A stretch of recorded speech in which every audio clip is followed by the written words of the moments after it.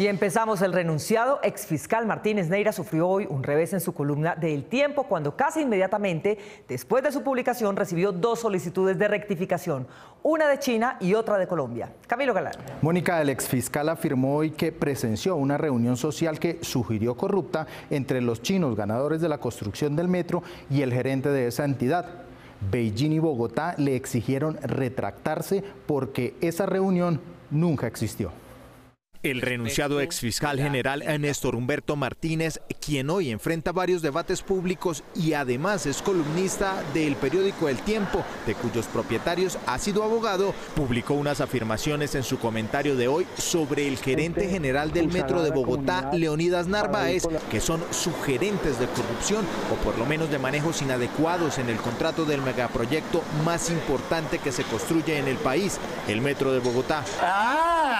En la columna que Martínez tituló Brindis Colombochino por el Metro, este afirma que en el restaurante del norte de Bogotá, Pajares Salinas, presenció una reunión social entre el gerente del metro y directivos del consorcio chino que se ganó la licitación y que está construyendo el metro. Un dirigente político que siguió el almuerzo desde una mesa vecina lanzó una crítica mordaz ante la posibilidad de que se estuviera discutiendo el asunto de fondo. El exfiscal columnista en tono burlón describió la supuesta reunión que según él presenció como espectador.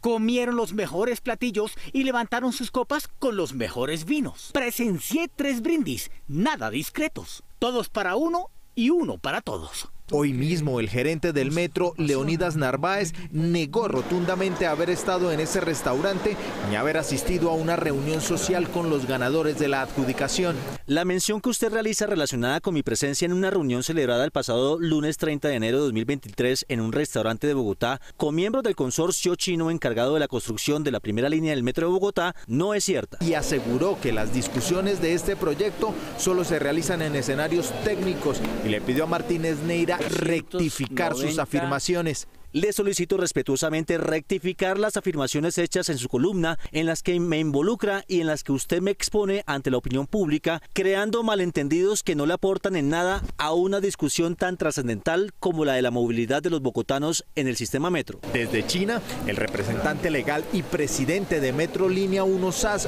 Huyu, también se refirió en un comunicado a las conjeturas publicadas por Martínez. La información recogida en la columna de opinión es falsa y la reunión a la que se hace referencia nunca tuvo lugar. Metrolínea 1 SAS, como concesionario encargado de la construcción de la primera línea del metro de Bogotá, se limita a ejecutar y dar cumplimiento a las obligaciones contractuales recogidas en el contrato de concesión. El exfiscal, quien ha denunciado repetidas veces a otros columnistas y líderes de opinión por lo que él califica como calumnias e injurias, ahora tendrá que rectificar o someterse a acusaciones similares.